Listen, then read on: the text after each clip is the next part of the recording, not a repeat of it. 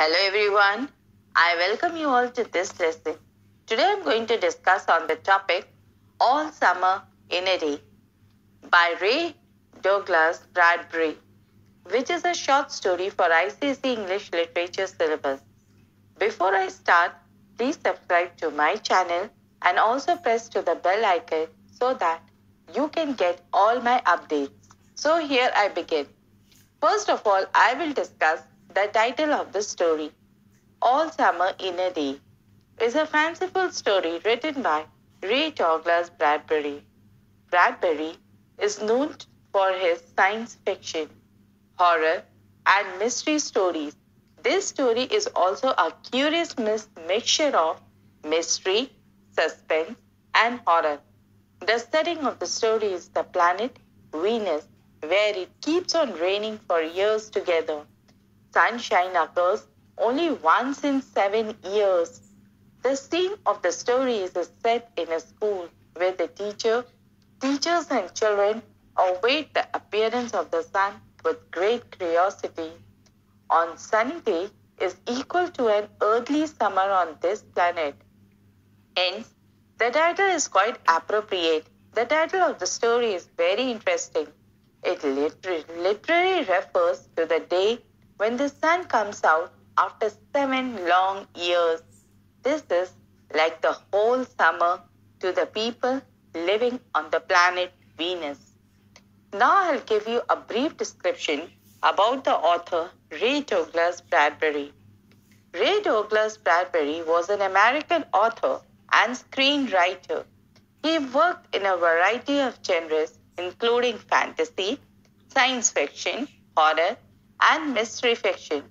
He was born on 22nd August 1920 and died on 5th June 2012 at Los Angeles, California, in United States. Now I'll discuss the story All Summer in a Day along with its important characters and symbols. First of all, dear children, I will discuss the symbols and the characters used in the story so that before you know the story, you are well acquainted with all the, these symbols and characters. So, All Summer in a Day is a science fiction, a short story by the American writer Ray Bradbury, first published in March 1954 in the issue of the magazine of fantasy and science fiction. In this story, we find the sun symbol analysis, the most important symbol in All Summer in a Day, embodies all the nature of its effects on people, demonstrate the inextricable connection between humans and the natural world. On the planet Venus, the sun only comes out once in every seven years, and for the remainder of the time, people live underground in the darkness, hiding from the pelting rain. Venus, therefore, is a society that is entirely removed from nature, something both caused by and symbolized by the absence of the sun. Margaret is the only character who can remember the sun and in its absence, she has become not only sad and subdued, but also physically less healthy. She is frayed and washed out like an old photograph. The other children initially seems healthy enough, but when they finally get to play outside in the sun, its revitalizing effects are immediately apparent. The children tumble and play with new-formed energy, laughing and wondering at how nice the sun feels and looks. The sun has made them physically and emotionally stronger, just as its absence weakened Mar- Margaret. After this period, in the sunlight, the children are suddenly awash with great regret for locking Margaret inside as if the sun had made them more self aware and empathetic. With its power and restore, restore health as well as inspire empathy, The sun represents renewal, vitality, and the power of nature. Without sunlight, the people on Venus seems slightly less human. Now I'll tell you about another symbol that is the weeds. Weeds and unruly plants appear multiple times in this in this story, sometimes unexpectedly. They're, they are used to emphasize the damaging effects of deprivation from the sun. Both the physical environment and the inhabitants of the Venus have become cruel and inhospitable in the absence of sunlight. Because of the constant rains, rains, Venus is covered in sickly pale, overgrown vegetation, a jungle that grew and never stopped growing tumultuously even as you watched it. The jungle is described in vivid, uncanny detail as a nest of octopi, clustering up great arms of flesh like weed. Venus is an untamed, inhospitable environment which the constant rains have covered in tangled grey weeds. Just as the rains have created this hostile environment, they also seem to have fostered hostility among the people of Venus. The unruly children are described in the opening of the story as so many roses, so many weeds, intermixed, pressed close together as they appear out of the window. In the absence of the sun and in their feverish anticipation, the children have become themselves like uncontrolled weeds. Just as the lack of sunlight has turned the surface of Venus into a frightening jungle, it has also turned the children into an unruly mob. Weeds symbolize the ugly behaviors that have proliferated unchecked in this harsh environment. Now, children, I'll tell you the third character, and that is about the children. William and Margaret are the only two students named in the story, but the other students also join William in teasing Margot, and they get the play outside in the sun while Margaret was locked up. In their unruly excitement before the sun comes out, the author writes that they are like jumbled weeds. But after they have experienced the sun's revitalizing energy, the school children are devastated by the return of the rain and they suddenly feel ashamed about how they have treated Margaret. My fourth character is William.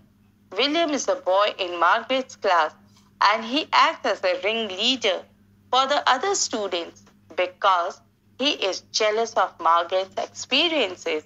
He discredits her when she talks about the sun and, the, and tries to provoke her into fighting with him. William vents his frustration by getting the other children to help him lock Margaret in a closet during the brief period that the sun is out.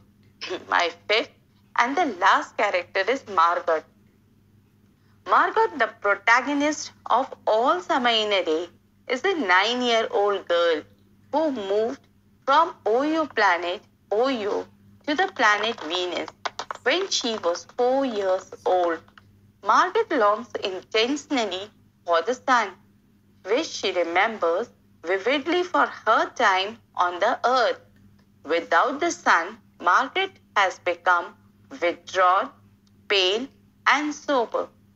Eschewing the company of other children and thinking only of summertime, Margaret classmates treat her coldly and with, or with jealousy because they have hardly experienced the sun at all and will likely remain on Venus for the rest of their lives, while Margaret may be lucky enough to return on Earth on the much anticipated single day of a summer. Margaret becomes a scapegoat for the other children's longing and deprivation. They lock her in a closet so that she won't be able to see the sun.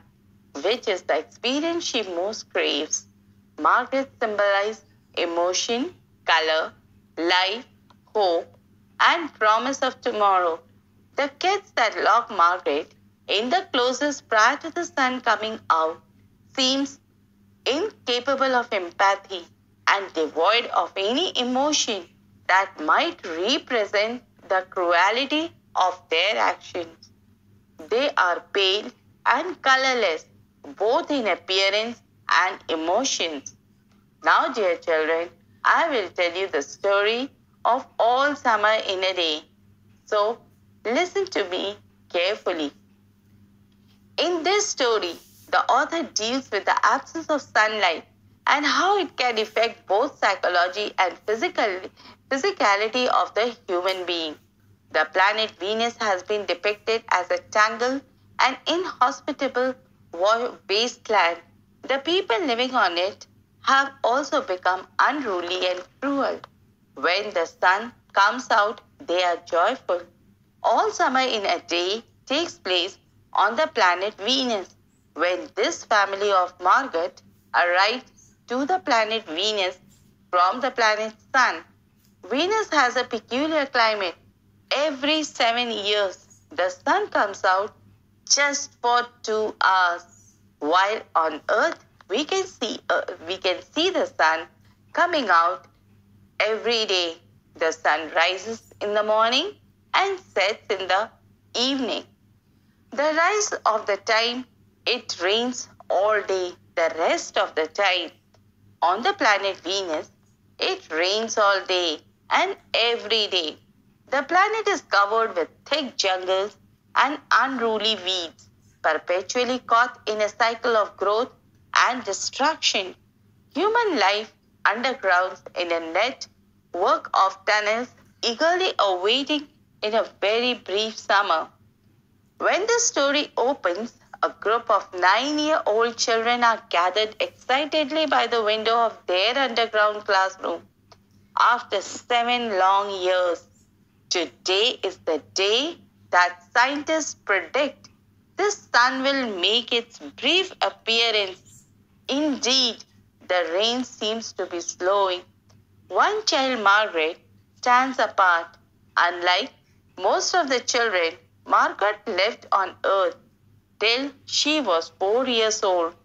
Until five years ago, when children speculate about what the sun is like, Margaret can actually remember what the sun is like. She remembers quite well. Margaret has not taken well to her new home. On Venus, she is frail, quiet, and pale, as if the rain had washed out the blue from her eyes and the red from her mouth and the yellow from her hair. She has also begun to panic at the touch of the water. As the two-hour summer approaches, the school children read and write short stories about the sun.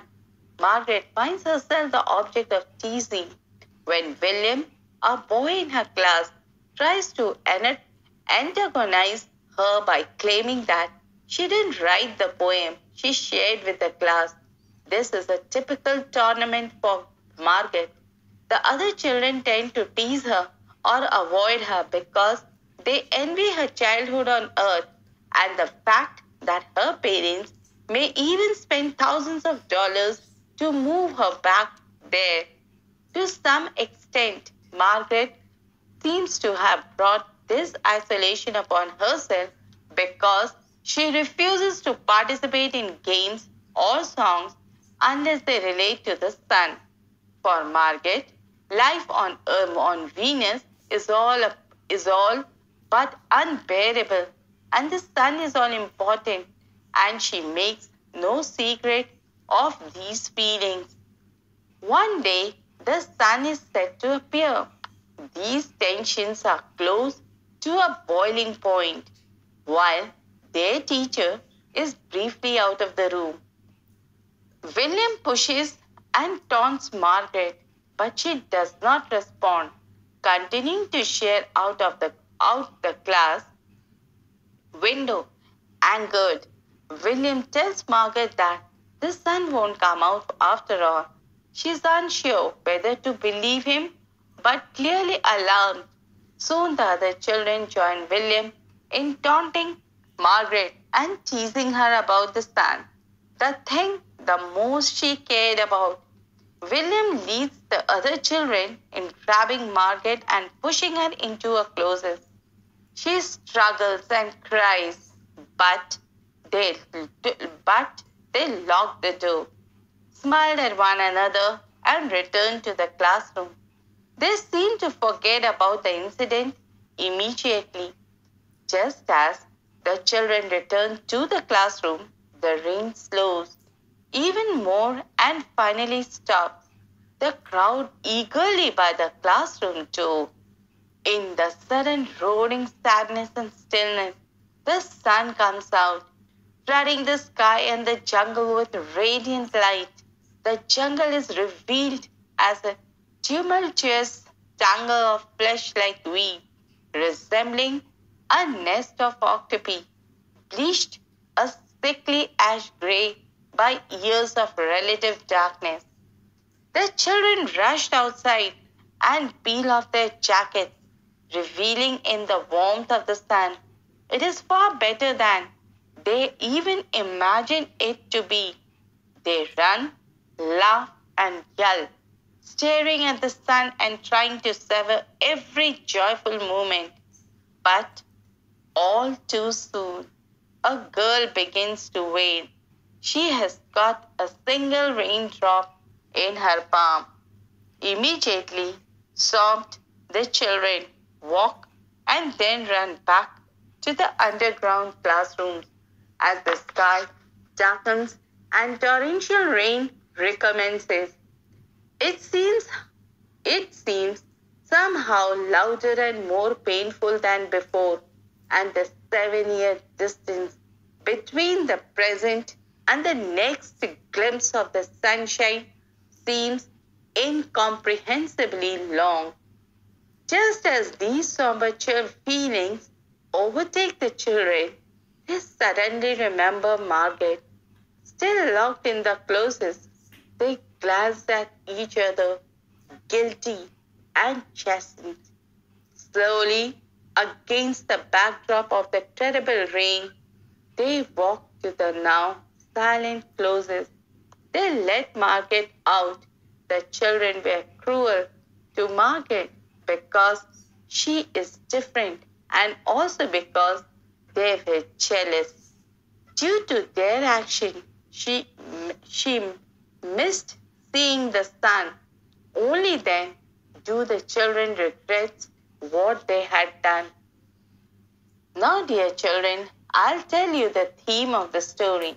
The main theme of the story, All Summer in a Day by Ray Bradbury, is number one, bullying, which is caused by jealousy and envy. The author chooses to explore this theme in the context of future generations that has a chance to travel between planets as a consequence, evolution. Number two, jealousy and isolation.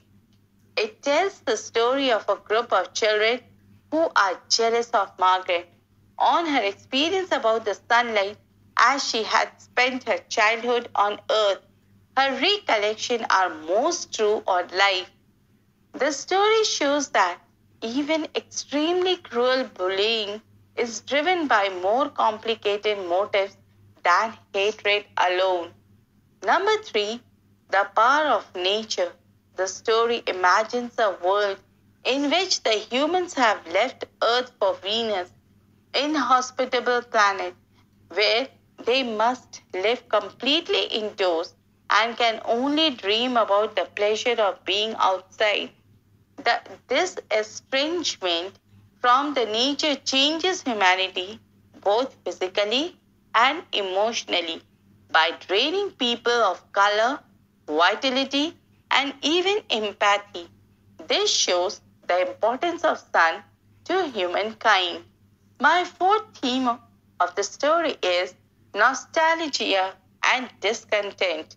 In this story, the author depicts a world in which the sun is absent, has tremendous power over people's life.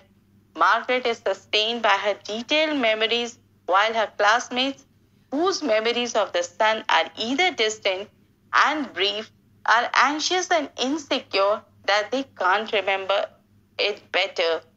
Through this depiction of a society obsessed with memory and absence, nostalgia leads to social unrest and personal dissatisfaction.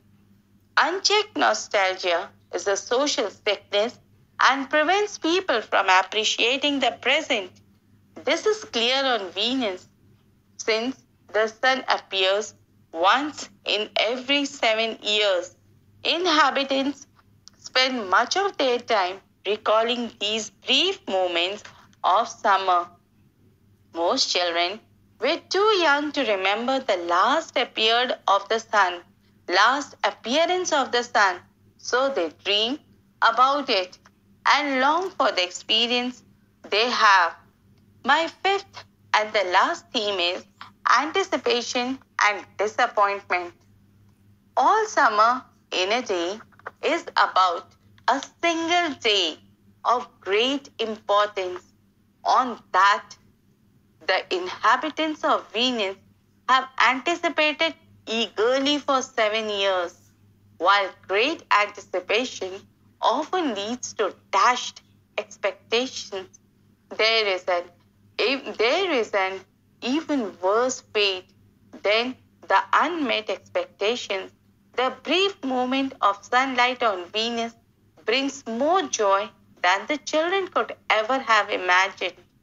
In the end, the day seems to have brought more sadness than joy, as instead of imagining the sun, they now miss something they have personally experienced. Now, dear children, I'll tell you the moral of the story. All summer in a day focuses on the cruelty of the bunch of students, the bunch of school children who have moved to Venus and are excited about the clouds clearing for about an hour, which will allow most of them to see the sun for the second time in, in their life, as these children, who are nine years old of age, was most probably two years when they last saw the sun. Apart from this, we can also see the power of the sun, which brings energy, will, being clear and self. The sun represents life, influence, and strength. So, with these words, I end my lesson. Hope this lesson will be beneficial for you in your study. Thank you.